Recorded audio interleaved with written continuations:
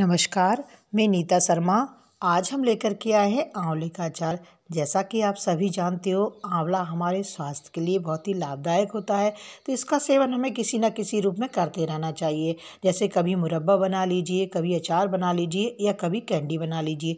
इसका आप चूरन भी बना करके इस्तेमाल में ले सकते हो। आज हम आपको बता रहे हैं अचार बनाना। तो ये हमने डेढ़ किलो के करीब आंवले लिए एकदम ताज़े, आपको भी देख रहे होंगे। सबसे पहले इनको धो करके दस मिनट के लिए धूप में हम सुखा लेंगे ताकि इनका सारा पानी अच्छे से सूख जाए।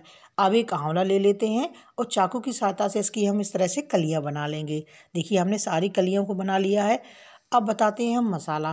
तो ये हमने पचास ग्राम करीब मसाला यानी कि मेथी दाना लिया है और पचास ग्राम ली हमने सौंप के दाने। थोड़ा सा लाल मिर्च पाउडर ले लेते हैं। लाल मिर्च आप अपनी इच्छा के अकॉर्डिंग घटा बढ़ा भी सकते हो। और ये लिया मैंने पचास ग्राम करीब नमक और पचास ग्राम से थोड़ा कम है हल्दी पाउडर। एक एक चुटकी से थोड़ी सी ज़्यादा ले लेते हैं हम हींग। सबसे पहले कढ़ाई में डाल करके हम मेथी दानों को और सौंफ को भून लेते हैं। तो कढ़ाई हमने चूल्हे पर रख दी है और गैस को मीडियम कर लिया है। अब इनको लगातार चलाते हुए तब तक भूनेंगे जब तक इनका कलर ना चेंज हो जाए। तो हल्की सी ये ब्राउन होने लगी हैं।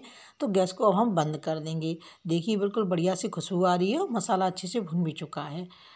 अब इसे ठंडा होने के बाद हम मिक्सर जार में डाल करके ग्राइंड कर लेंगे। तो इनको थोड़ा सा हम मोटा मोटा सा पीसेंगे।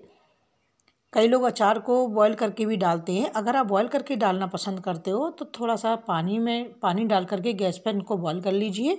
बॉईल करने के बाद भी बिल्कुल इसी तरह से आप अचार बना सकते हो। तो हमने मिक्सी जार में इनको डाल दिया है। अच्छे से हमने पीस लिया है। बहुत ज़्यादा बारीक भी नहीं पीसा और बहुत ज़्यादा मोटा भी नहीं पीसा है।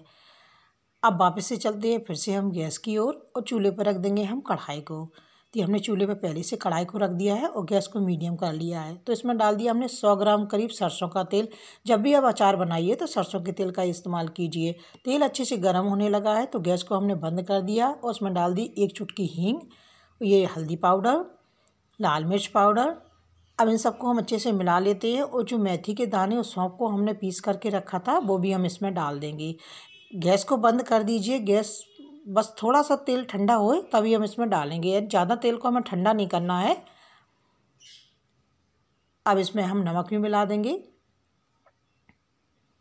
ये हम डेढ़ किलो के करीब आंवले हमने जो बनाए हैं, उसका मसाला बना रहे हैं। अगर आप ज़्यादा बनाते हो तो मात्रा को घटा बढ़ा सकते हो।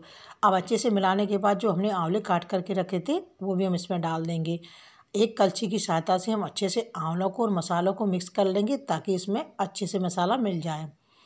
इसी तरह हम चलाते रहेंगे और ठंडा होने के बाद से हम कंटेनर में भरेंगे।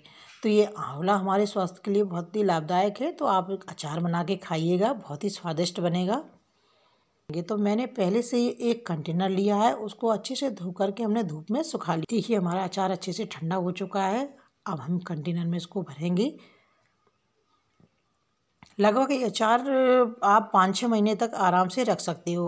अचार में बिल्कुल भी पानी नहीं पड़ना चाहिए। पानी पड़ने के कारण से अचार हमारा जल्दी से ख़राब हो जाता है और ज़्यादा समय तक नहीं चलता है। कंटेनर भी सूखा होना चाहिए। अगर इसमें थोड़ा सा ही गीला रहेगा तो अचार ख़राब हो जाएगा। आंवला अच्छे से ठंडा हो चुका है। अब इसको हम भर देते हैं। ये हमारा आंवले का अचार बन कर के तैयार हो चुका है। आप इन्हें खाइए और इन्जॉय कीजिए। अगर आपको हमारा अगर आपको हमारा वीडियो पसंद आए तो प्लीज़ चैनल को सब्सक्राइब और लाइक ज़रूर कर दीजिए। धन्यवाद।